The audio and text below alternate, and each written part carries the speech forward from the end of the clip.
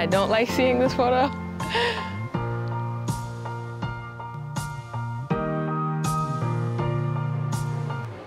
Most times I don't cry after a race, but after World Championships, there was a waterfall of tears.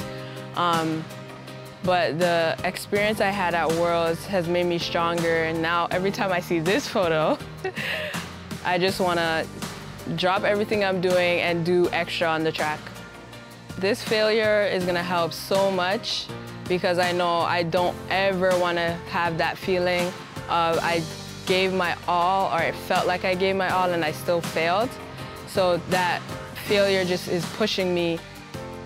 If I give up, the young girls and women coming up in sport is gonna say, well, Crystal failed and she gave up right at the beginning of her journey. So I felt like I couldn't give up just yet because I have so much more to show